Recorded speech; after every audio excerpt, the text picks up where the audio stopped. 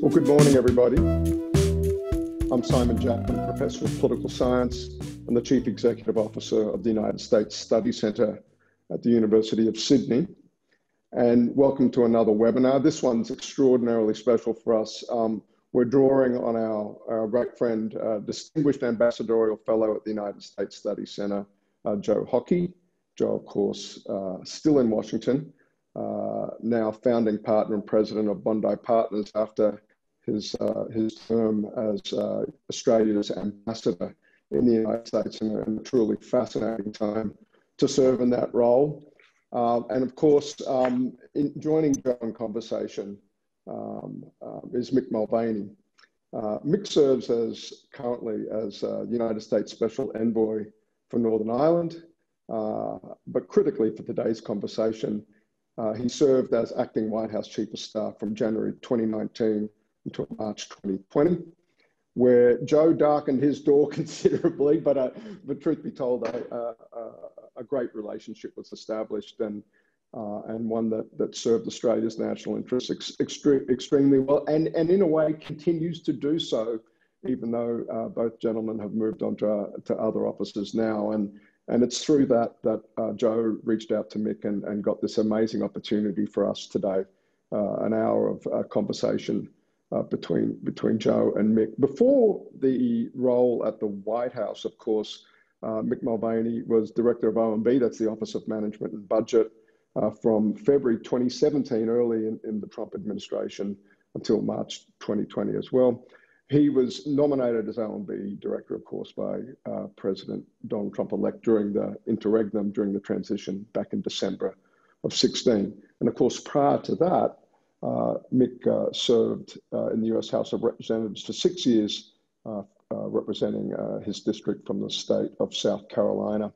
Um, I want to quickly get out of the way and devote as much time we've got today to Joe in conversation with Mick thank you both, gentlemen, for uh, this hour you're giving the United States Study Centre uh, tonight. Um, over to you, Joe.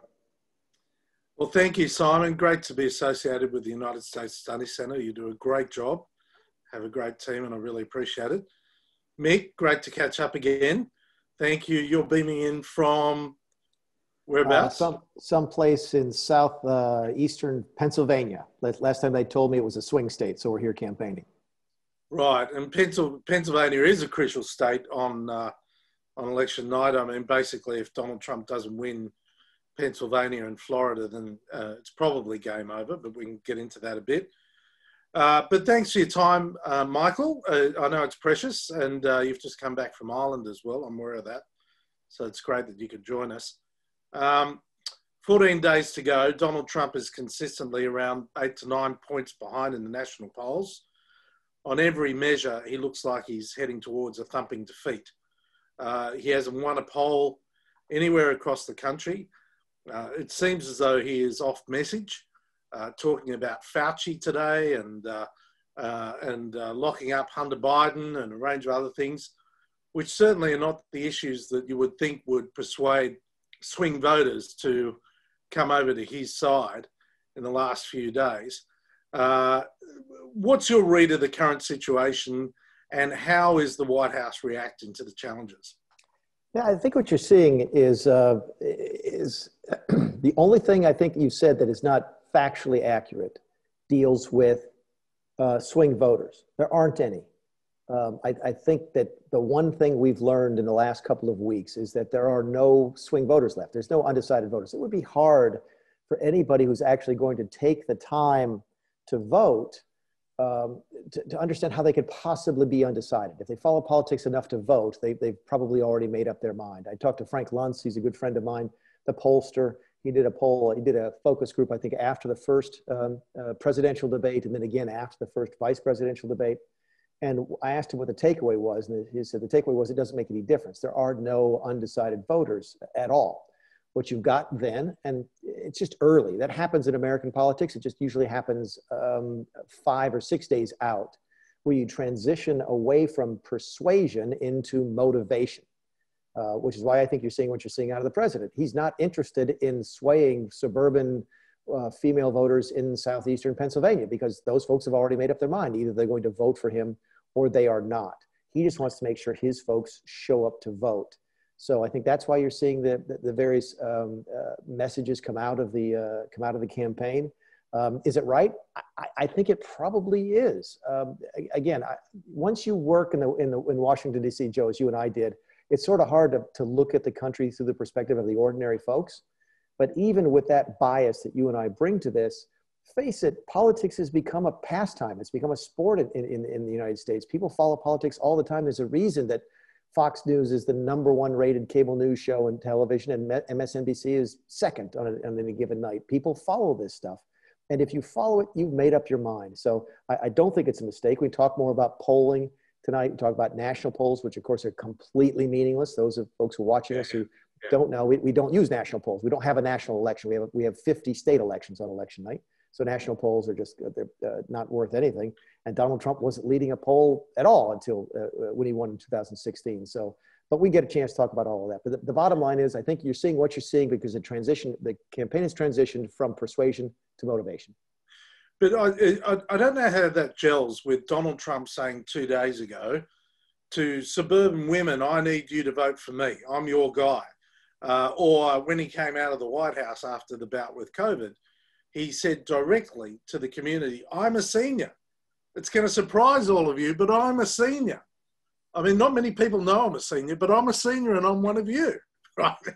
that was one of the more bizarre statements. So, yeah. I mean, you know, he is trying, he, he knows he is bleeding on seniors and he's bleeding on suburban women. So if you say that it's all about getting your people out to vote, why is he appealing directly to those people? Yeah, I, I, bleeding. You're looking at the same polls. Let me give you an, an example of polling that you've seen, okay?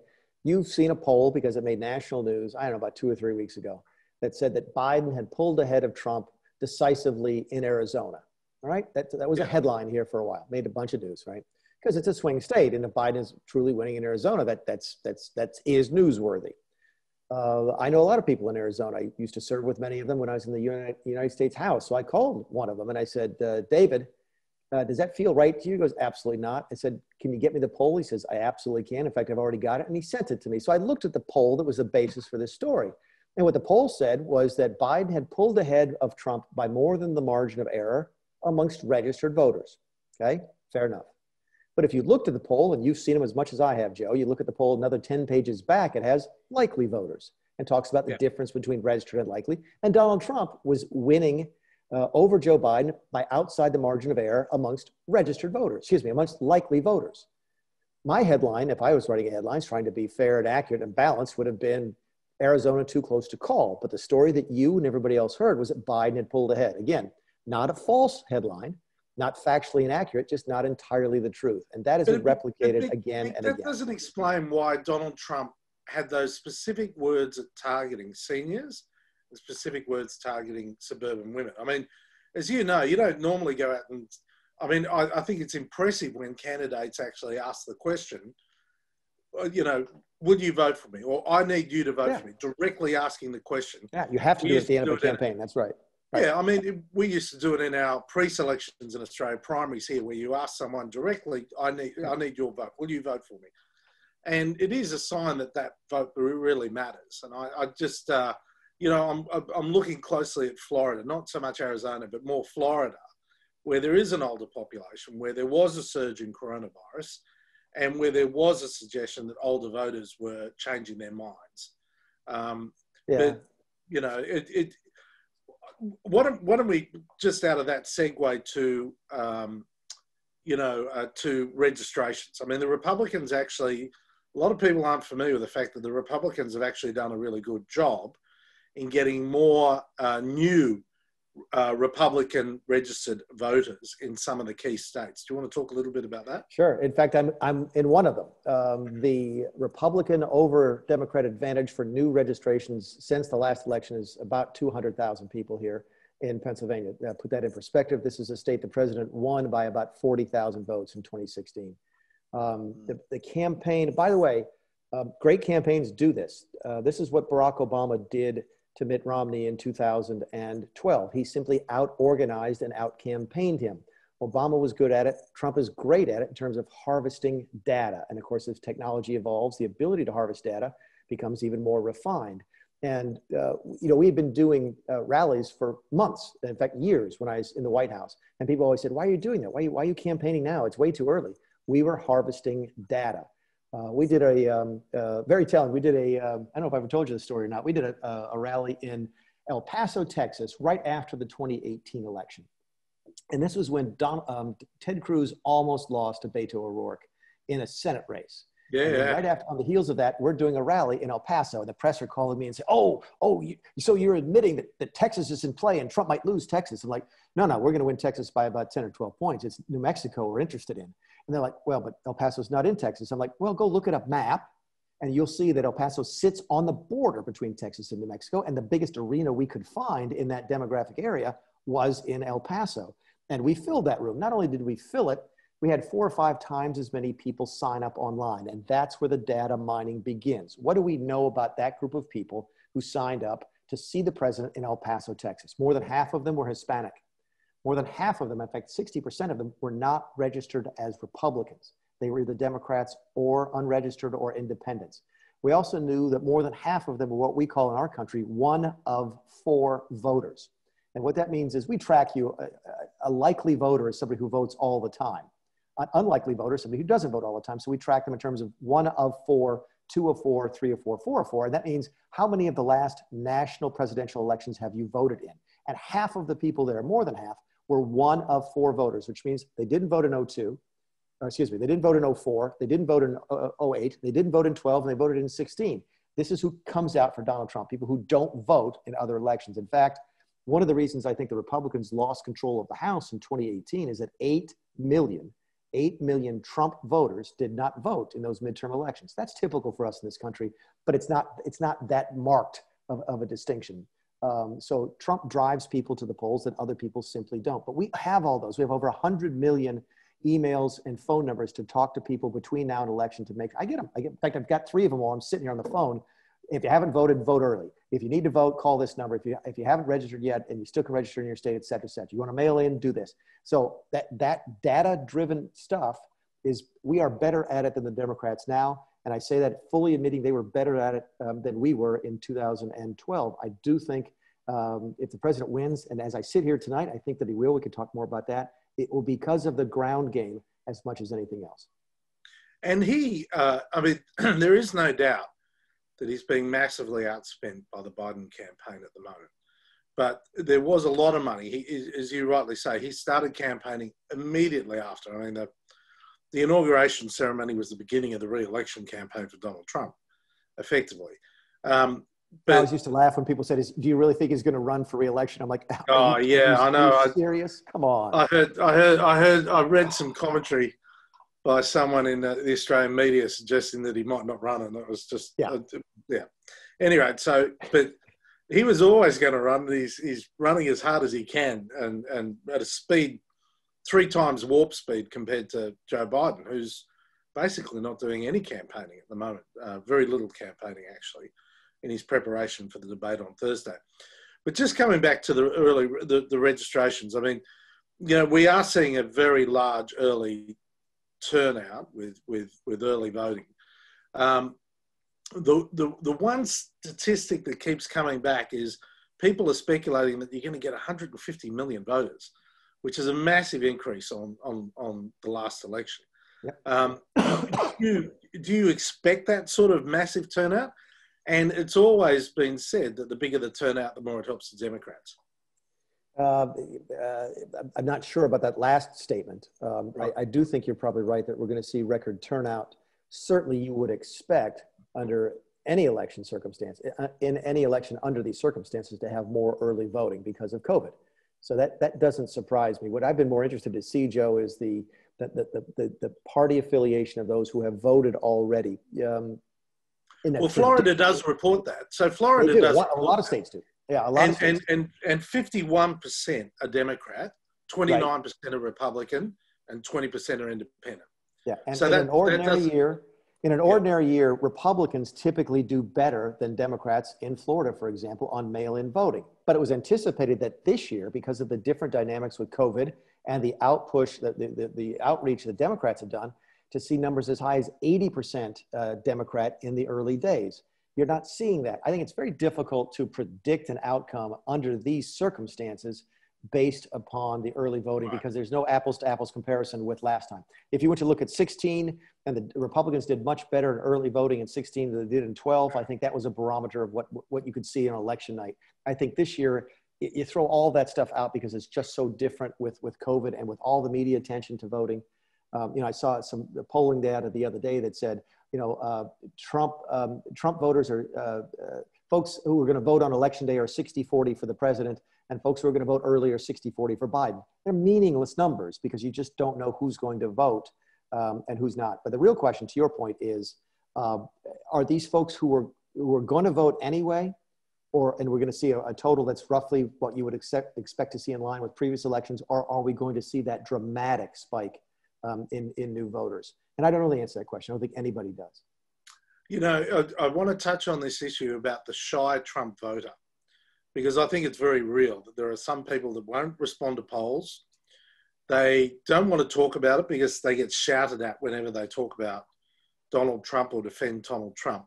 And I was down in North Carolina uh, at uh, Nags Head last week, and uh, and and you know there was the odd um, you know, keep America great hat or make America great hat, whatever t-shirts.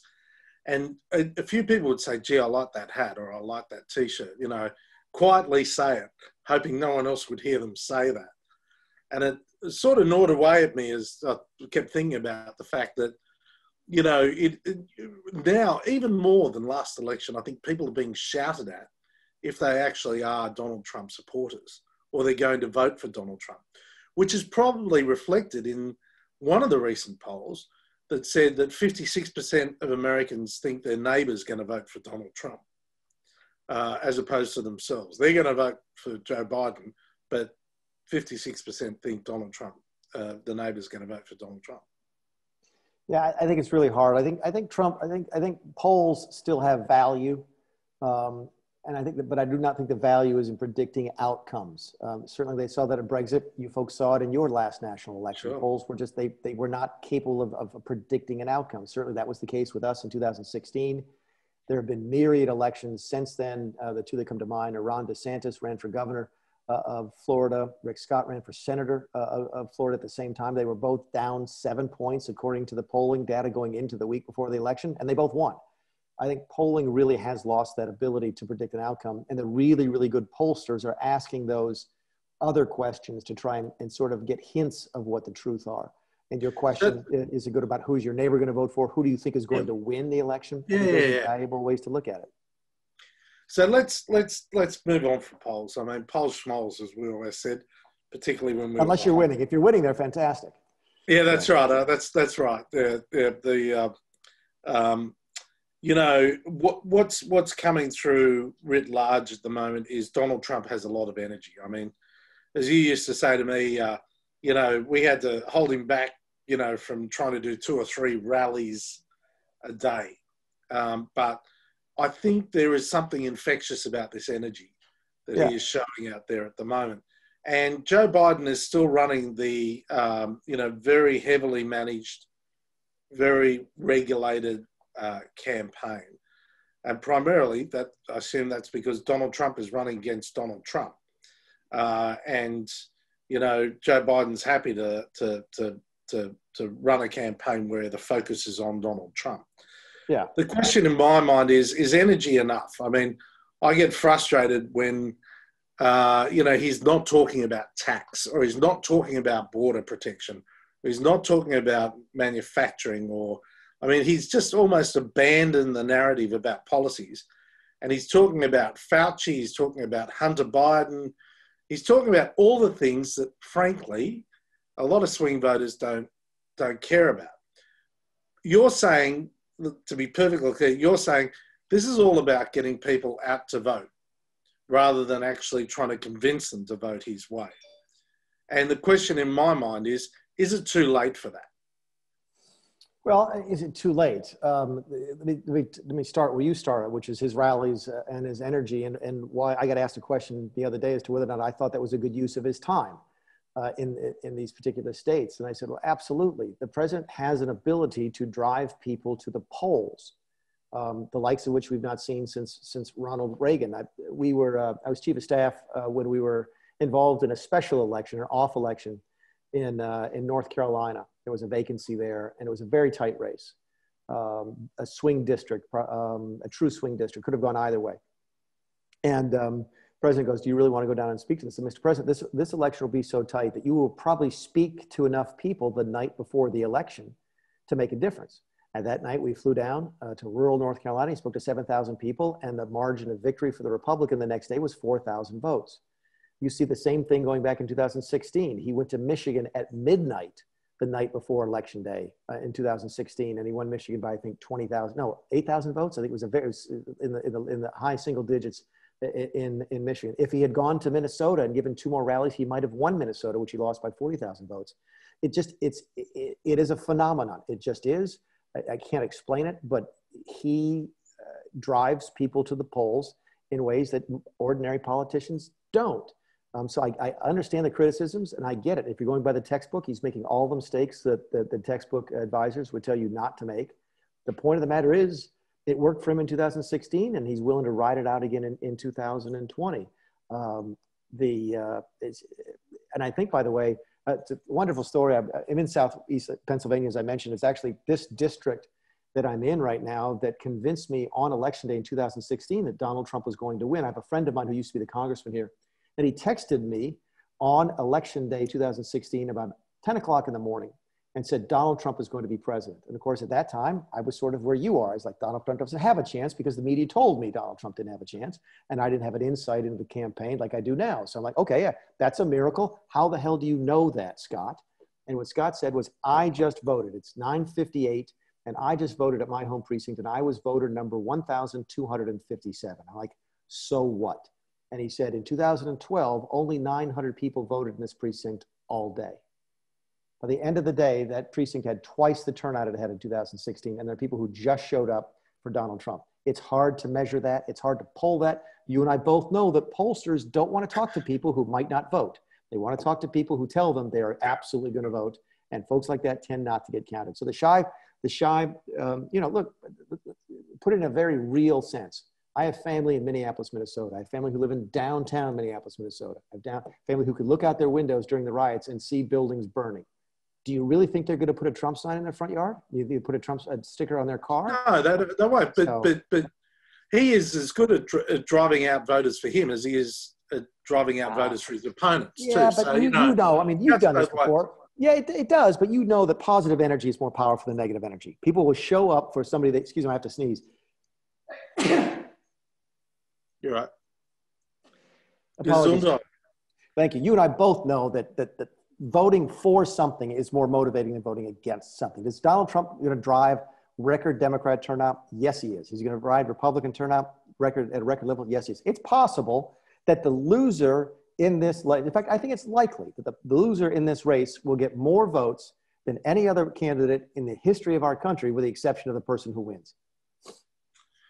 Okay, so and, and, and, and, even Biden may get more votes than than Trump and still lose the election because the way our system works. Yeah, yeah, yeah, and and we get that. I think um, so. Let's just agree uh, that that you know, at the moment, Donald Trump is behind. I mean, I think I think we can agree on that, can't we? when did I agree? When did I agree to that? Uh, well, what's your basis? Your basis for you watching too much CNN? You really are. Hardly. I, you you have no friends on television at the moment. So let's just let's just stick with it. Let's, let's just stick with the consensus. The betting market, the polls, yeah. anecdotally, you know, let's just run with that. Okay. Um, what what does Donald Trump really, in your view? Now I'm, I'm putting you on the hook. What does Donald Trump need to do between now and polling day to get across the line? I think he's. I think he's doing it. Um, I, I, think the rallies are the best way for him to spend his time. I really do. I understand. I don't know how they're doing it because I used to run this part of the White House. I understand they're doing three and four a day.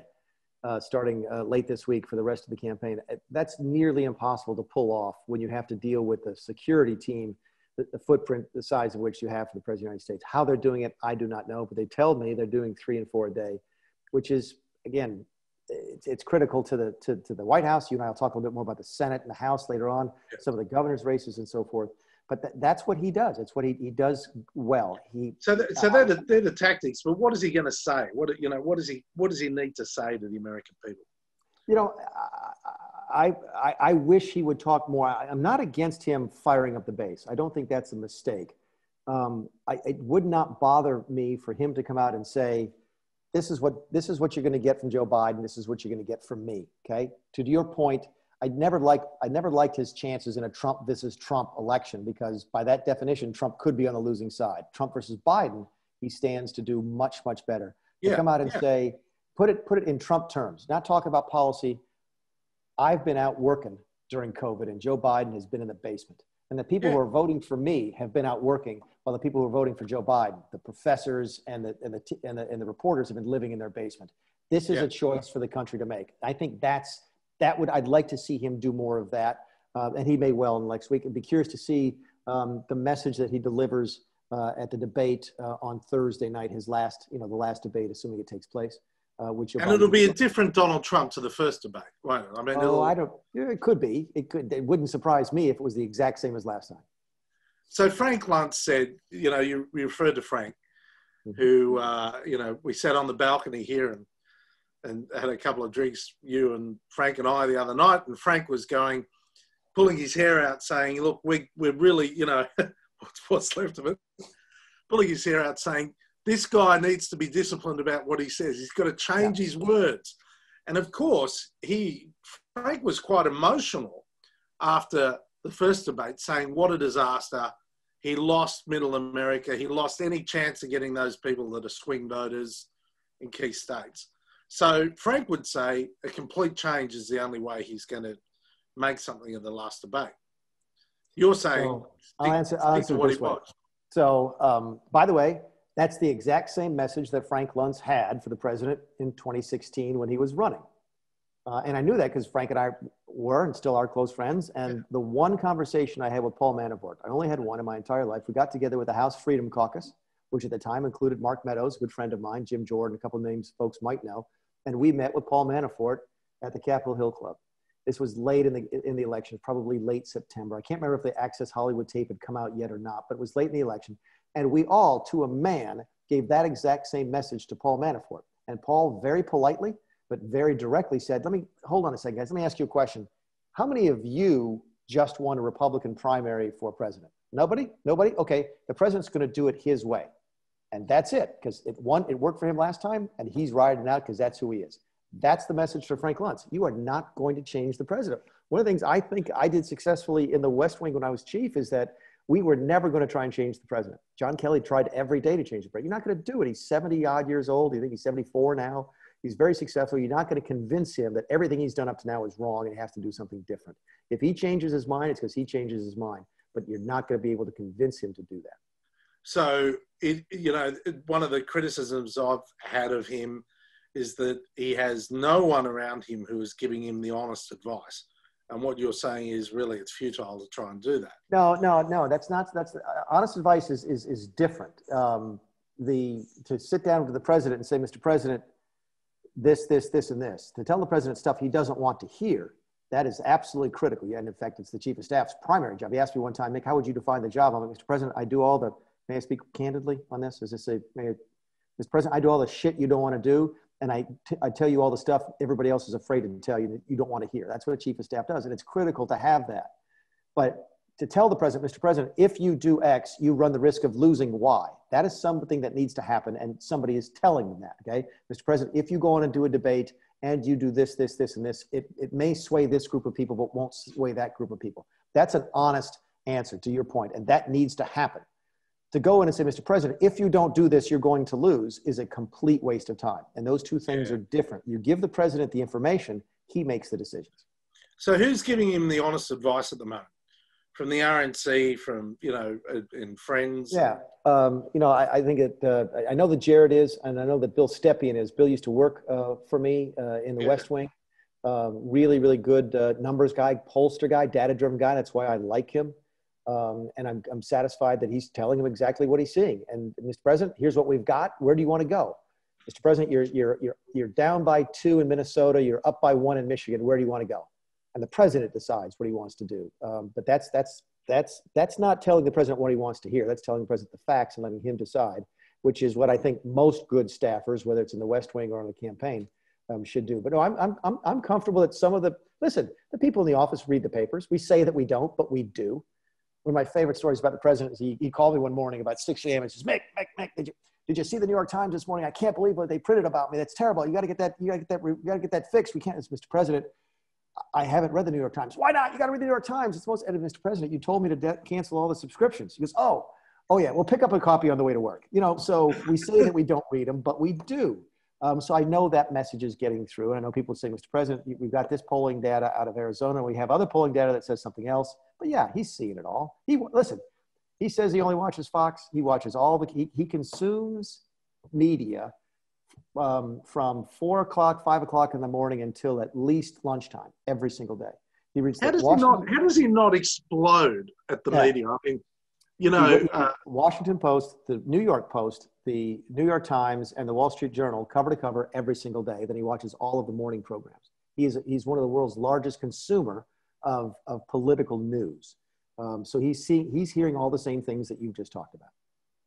So uh, Australians might not be uh, aware of it, but there's uh, a group of disgruntled Republicans who, essentially out of the Bush campaign, who um, formed a group called the Lincoln Project, and it's basically a super PAC that uh, has raised a lot of money, and it's saying we're Republicans, uh, don't vote for Donald Trump, and but the ads are extraordinarily effective. I mean, they are it's been going for a while. They're sniper shots, and half the ads are designed to get into Donald Trump's head, and successfully yeah. doing so. Right? I mean, the ad when uh, he parodied um, uh, Joe Biden as being old, uh, the Lincoln Project created an ad of Donald Trump walking gingerly down a ramp, and then they ran it in the middle of Hannity and uh, the programs they knew Donald Trump would do. And Donald Trump, for a week, reacted badly to the ads, and that increased the amount of money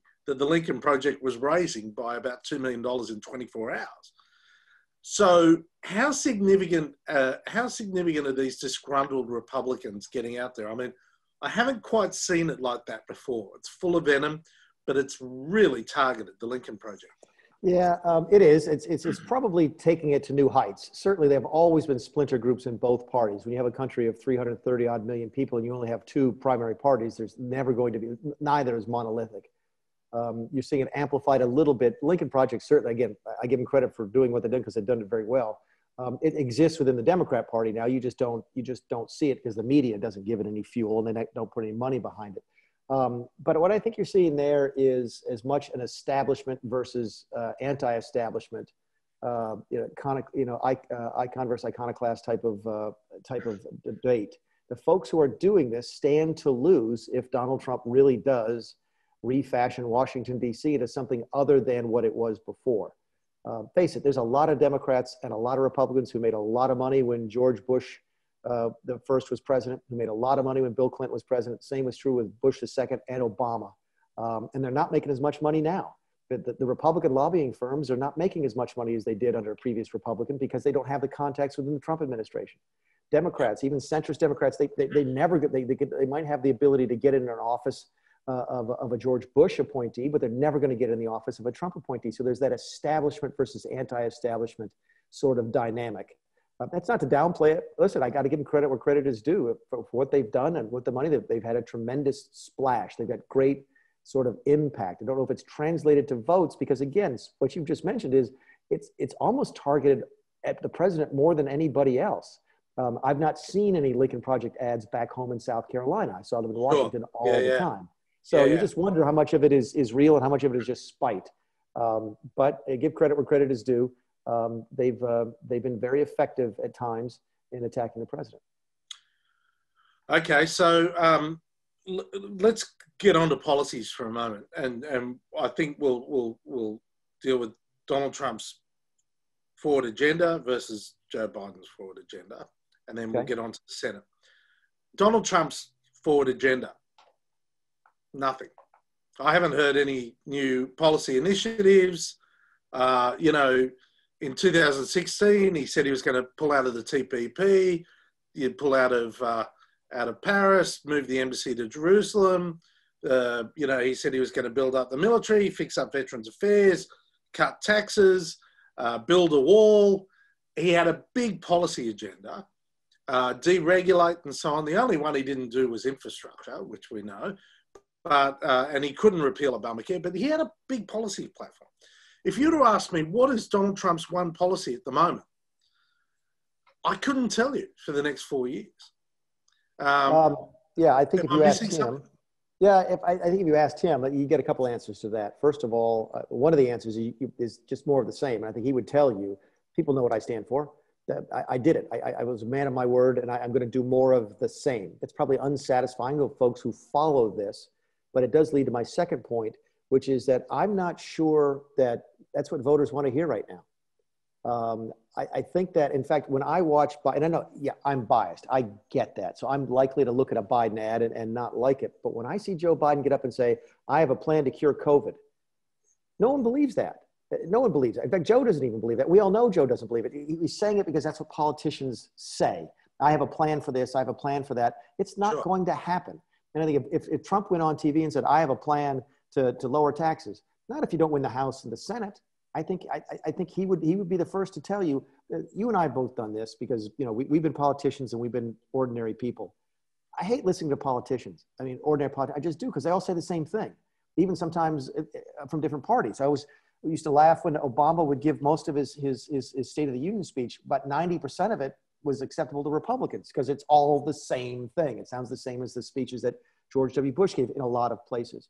I think the president may think, because again, he's one of the best gut politicians I've ever seen, but this is not a policy election. This is a big picture, um, general direction type of election. And if he comes out and says, I'm going to build another, you know, 472 miles of wall between this date and that date, it's not going to, no one's going to care. Uh, it doesn't make any difference. People don't believe politicians anymore.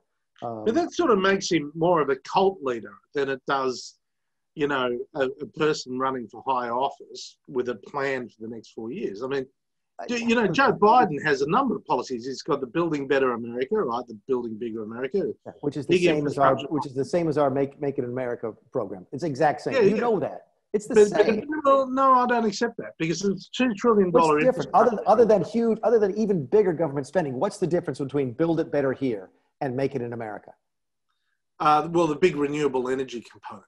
Okay, so green energy, you got us on that one. Yeah, yes, yeah, they're, yeah, they're, so- they're better, yes. So we're better with fracking. Yeah, there you go. And Yeah, we're yeah, for yeah. fracking So, you know. Okay. Well, well, it, but it's but it's more than that. I mean, he's going to he's going to invest a lot in renewable energy, and and Just like you know, Obama bring- did. How did it, you know, and again, I get it, but I think people are tired of that. I just Well, no, I don't think they're tired about it. I think they want to hear what you know an alternative is going to do. He's also Well, going okay, to well, increase okay, taxes. well, hold on a second. Well, hold on. If you're right, increase taxes. if you're right, and then if the if the voters are sitting there going, you know what, I, I really need to know what each of these people is going to do for the next four years, and I think you both agree that roughly half of them are going to vote for um, Donald Trump. We'll just give that right now, right? We'll just assume for sake of the discussion it's a 50-50 election. Either Donald Trump has done a good job of articulating to those people what um, he's going to do in the next four years, and you've just missed it, or you're wrong about what people are interested in, because half the people in the country are going to vote for Donald Trump. Yeah, well, it might be the case. They're, they're voting. So it's a personality-based election, and and and what I'm getting to is, if it is personality-based, I mean Donald Trump's energy, uh, and um, and also the enthusiasm for him are a bigger driver. So what?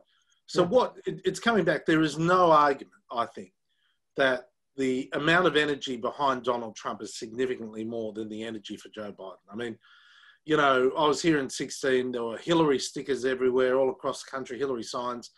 I just don't feel the same energy for Joe Biden. I feel that the energy uh, is anti Trump or it's pro Trump. There's no, you know, there's there's and, and therefore Joe Biden can step back. Yeah. He can step back and allow. he's, he's you know, running. He's running the exact race that he should be running. There's no question about it. Joe Correct. It's just very stands to disciplined lose. it is very disciplined. I no mean, one will benefit campaign- more. No, no one benefits more from COVID than Joe Biden because Joe Biden's most likely outcome, if he actually run a, a traditional campaign, was that he's he is famously gaffe prone. He just is.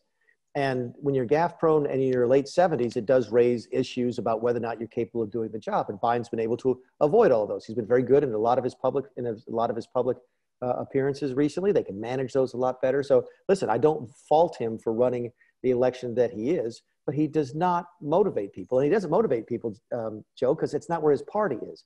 The energy in his party is behind Bernie Sanders and Alexandria Ocasio Cortez. Yeah, That's yeah. just where the Yeah. energy is. And Biden doesn't doesn't draw on that. Those folks will show up and they'll vote up, they'll show because they hate Donald Trump, but they're not voting because they love and, and really are passionate about Joe Biden. And if this if, if Trump does win by a very narrow margin, I think you could look to that as one of the reasons. Okay, I mean, we could go on about policies all day. I mean, if if you, would you accept that there is a if Joe Biden has a thumping victory, uh, then um, there's a very real chance that the Democrats can get the Senate as well as the House. Um, yeah, if it's a thumping victory, I think, yeah, I, I think that uh, one of the things you notice about American politics is that the place where voters are most likely to split their vote is at the top of the ticket. So a Republican vote for president, a Democrat vote for Senate, or vice versa is much more common than, say, a vote for a Republican for president and then um, a Democrat for dog catcher. You just you vote your party down the ballot, but you can vote more of the person and the personality up the ballot. So it's, it's not entirely fair to say that a, a thumping Biden win leads to a control of the Senate, but certainly if that's your assumption, it makes it more likely than not. Um, that being said, most of the races that I've heard about are But extraordinarily. before we get onto the Senate, Yeah. before we get onto the Senate, Okay. I do want to do a roll call of some of the key states in the presidential race. Okay, go ahead, Um, fire away. Okay, so let, let's let's let's go through a few of them. Michigan, Trump won by less than one percent, currently down seven. Yeah, For, when we get to the Senate, I will explain to you why Trump is going to win Michigan, but go ahead. Yeah. Wisconsin, Trump won by less than one percent. He's down Um, six percent. Despite my efforts, I think if I had to call it right now, I think that goes Biden. Right. Uh, Arizona, Trump won by four, currently down three. I think I think Arizona is still Trump. Uh, if you want to ask me why on any of these, I can tell you. But keep going. Well, yeah, well, no, no, no. If you think there's something that we need to know about Arizona, Well, that'd be- Arizona, go back to the polling I talked about, which is that the Trump, Yeah. you, the poll you just messaged is the registered voters, right? Not likely Yeah. voters.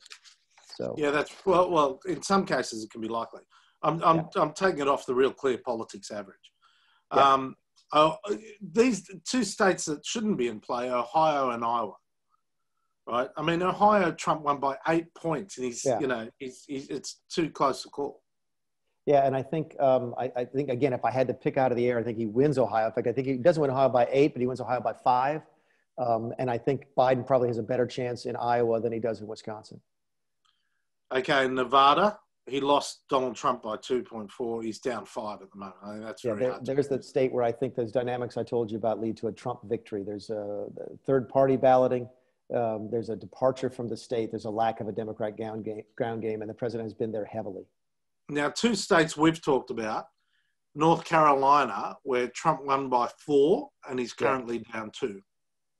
Yeah, I think I think North Carolina goes Trump. I think Pennsylvania is one of those ones that could actually come down to hundreds of votes different between the two. If those Well, the two Pennsylvania, so Trump needs both Pennsylvania and Florida. Yeah, but you win Florida, Michigan, which- it's over. Yeah, yeah. You So- Florida, so- it's over. Florida, Ohio, so- Michigan, it's over. So let's talk Sorry, about Michigan for a second. Florida, Ohio, and Michigan. You, if, you win, if he wins Florida, Ohio, and Michigan, he's going to win Florida. That's that's. But let's talk about Michigan for a second, because Well, that's a big call on Florida. Just a second. That's a big call on Florida. I mean, it's always, No, you know, a few No, hundred it's votes. not.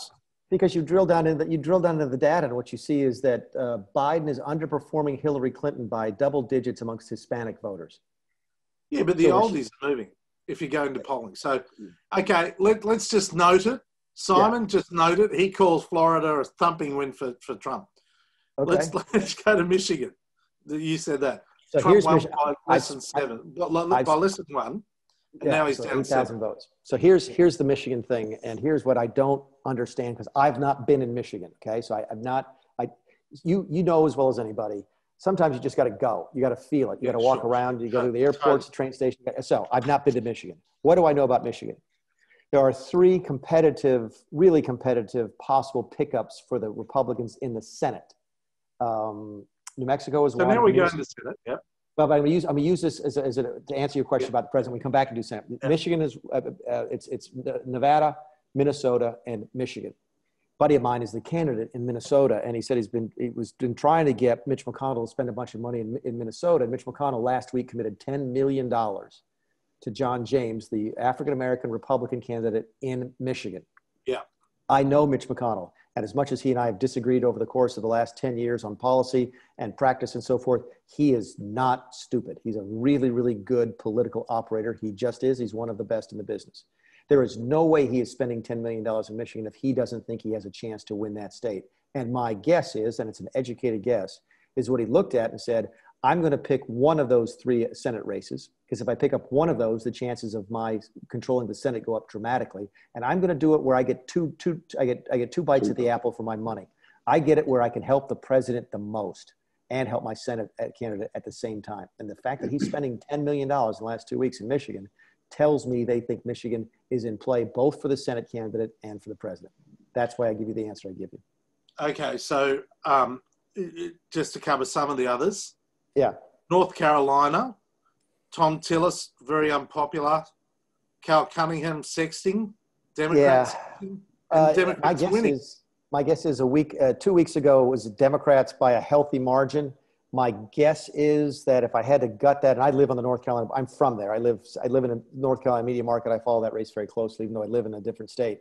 Uh, my guess is Cunningham probably gets that one in a nail biter. The president wins North Carolina, and as they ha- as, as happened with their governor's race in 2016, the Republican governor of North Carolina lost re-election while Donald Trump won the state. That's unheard of. They did that because the candidate was just a bad candidate. I think Tillis has really struggled. The people who vote for Trump have never trusted Tillis, and Tillis has not been able to sort of mend the, that, that, that rift between Trump voters and his own voters. And I think Tillis is in trouble. Well, it wasn't unheard of because I'm going to go to Montana, where the governor, Democrat governor Steve Bullock, who's a mate of mine, um, won the state. The, the, the, the governor's position won that won that at the same time that Donald Trump won the state by 20. Yeah. But you know he's he's very close against uh, Steve Daines, the uh, Yeah. There's a circumstance. You're, the example you gave is the right one, which is, uh, as we mentioned before, that's that top of the ballot splitting that folks will do in the United States. They'll vote for one party for pre- president, another for, for governor. But I really don't think that in a state where Trump is going to win by more than 20 points, which is what Montana is going to be, uh, that Steve Daines will lose. I think it'll be much closer. I think you might Yeah. see Daines win by the low single digits, but I do not think that Trump wins by 20 and a Democrat wins Senate at the same time.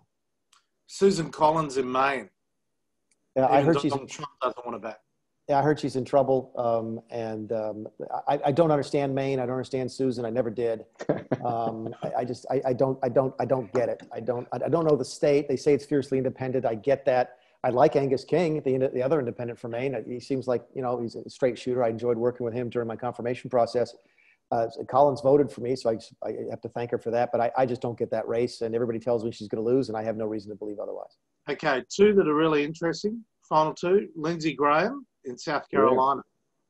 Yeah, Lindsey's in trouble. Uh, it's going to be neck and neck, and I know I never, I never thought I'd say that in my home state, um, but Lindsey be the first to tell you that uh, that uh, he's behind uh, the president, and that's what we sort of look at. The president's going to win South Carolina by a high single digits, low double digits. So let's say the president wins by ten. Right now, Lindsey Graham is trailing the president by ten.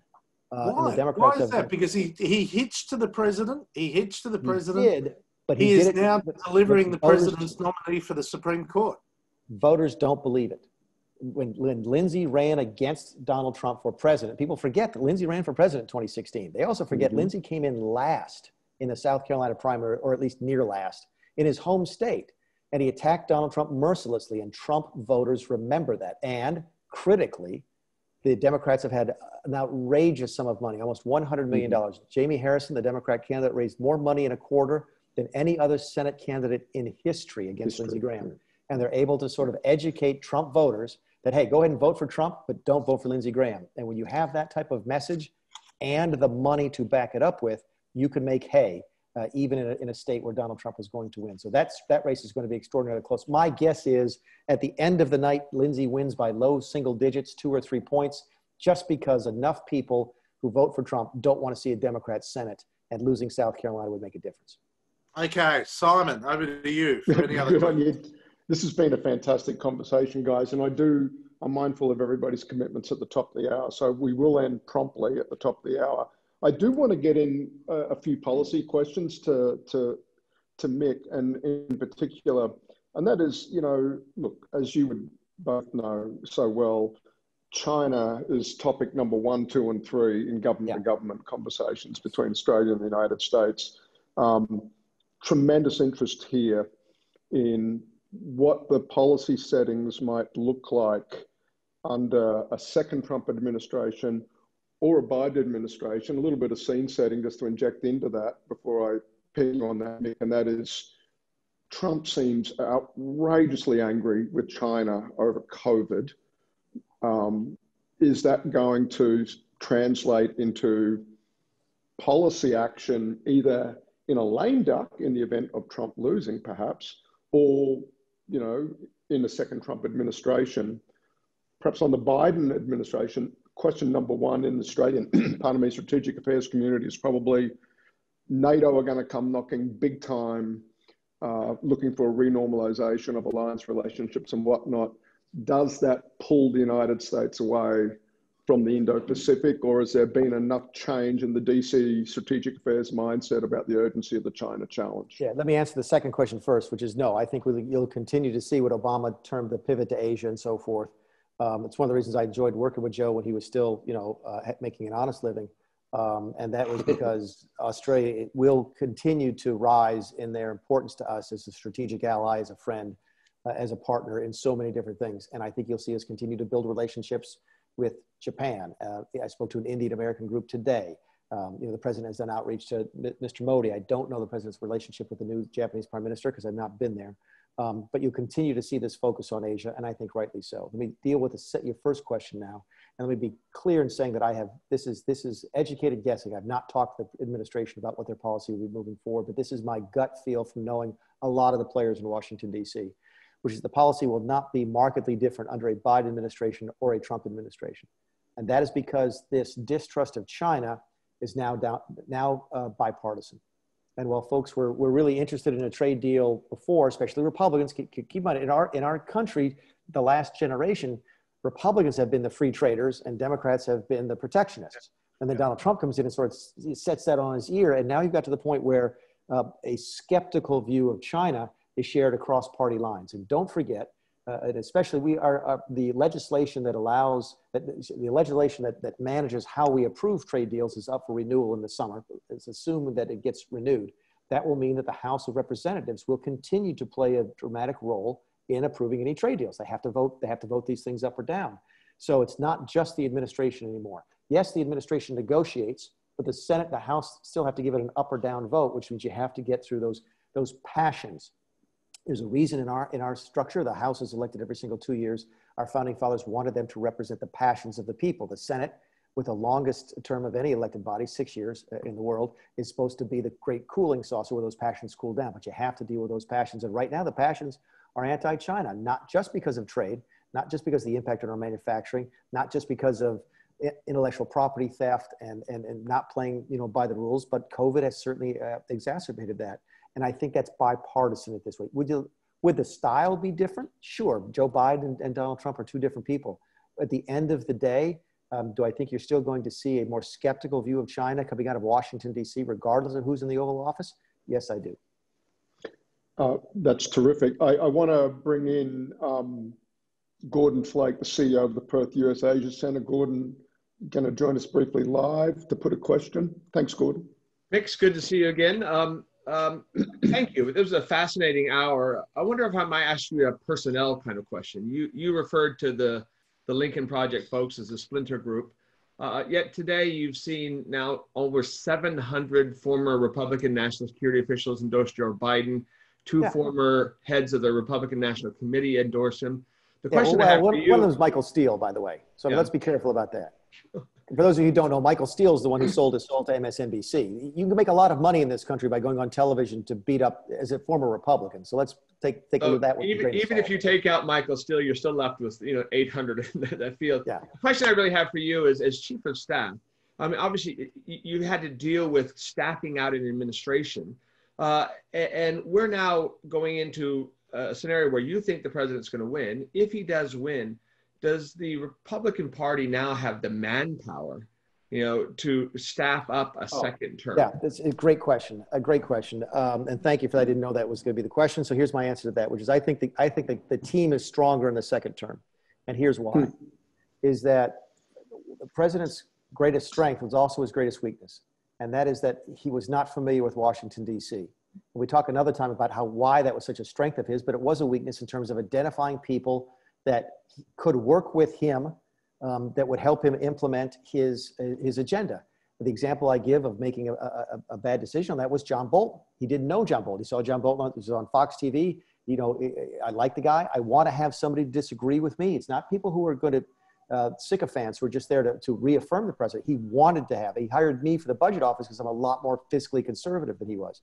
But you also, at the end of the day, have to have people who are willing to put their own agenda aside once the president has decided to push the president's agenda, and John Bolton was not capable of doing that. A lot of folks in the national security area are not because they just fundamentally disagree with the president's sort of non-interventionist policy. Keep in mind, his, his, his policies on war in Afghanistan is much closer to, to, to Rand Paul's, uh, who's, uh, who's a non-interventionist, than it was to, to, to John Bolton. So I think now that the president has sort of taught himself how to find people who disagree with me, but still at the end of the day can still be on the team. Mike Pompeo disagrees with the president all the time. He does it in private, and when the decision is made, he's on the team. Steve Mnuchin will give the president different opinions all the time. These are really, really good members of the cabinet. I think you'll see him build on that type of experience as opposed to recreate some of the mistakes he had in hiring folks like Bolton and Kelly, uh, Sessions, and Tillerson.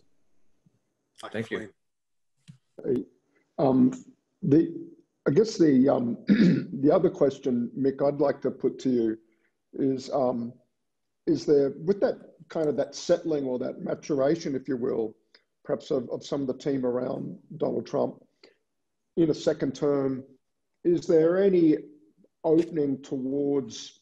I know there's only one. My joke used to be there's only one thing more distasteful than China and Washington at the moment. That's multilateralism. But but things like TPP things like those agreements that are very much assessed to be in Australia's national interest if the US were to, to play a role in them, still sort of on the nose with it in the second Trump administration, or does that second term create some political yeah. space for finding a way back at all? Well, certainly the president's always open for debate. There's no question about it. Some of the best debates I've ever had in my entire life in the Oval Office were in the Oval Office over trade. I mean, early in, the days, you had Gary Cohn at CEA, and then you, a big free trader, and then you had Larry Kudlow, who's still a big free trader, Steve Mnuchin, very much, excuse me, a, a, free trader, and then you have Peter Navarro and, and Wilbur Ross on the other side. And so those debates will continue. So the arguments will be made, Mr. President, here's why we should join TPP, or here's why we should look at this multilateral agreement. And other sides will, will make the same uh, arguments to make now. And I think if, if I find it, the center of gravity right now is on bilateral agreements, not on multilateral. Um, we, the president seems to think, and Bob Lighthizer, I think, shares this this predilection that the multi, we we seem to give away something to everybody in multilateralism and don't and don't get something from everybody, and we'd be better off doing one-off types of, mm-hmm. of, of, deals. Um, it's why I think you're seeing us throw such heavy energy right now into a U.S. UK deal, um, which I think you'll see early in early in the next year. Uh, just as soon as the, as the Brits cut their their agreement with the uh, with the Europeans, which I do think will happen. We didn't get a chance to talk about that tonight, but that's okay. Um, so I, I, don't see a big change uh, if, the, if Trump wins, uh, but certainly the debate will continue uh, full throated.